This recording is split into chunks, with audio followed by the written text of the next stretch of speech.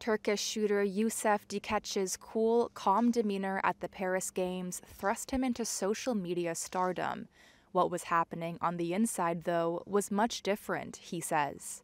Orada her ne kadar rahatmışız gibi gözük. At that moment, everyone says I seemed very calm, but actually, storms were raging inside me. O heyecanı anlatmak inanın. It is very hard to describe the pressure, the tension. The calmness is just a look reflecting outside, but the reality has nothing to do with it. Oysa hiç de öyle değil yani. Dikeç's nonchalant pose with his non shooting hand casually tucked into his pocket sparked a flurry of memes. While some of his competitors wore high tech gear, he sported a simple yellow earplug and regular glasses.